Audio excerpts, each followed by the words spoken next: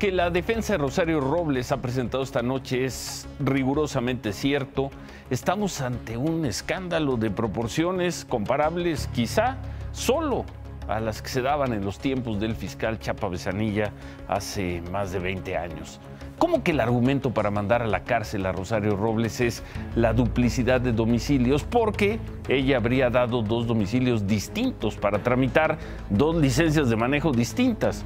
Eso de por sí ya era muy difícil de asumir, pero ahora la defensa exhibe que la segunda licencia es falsa, es una licencia construida.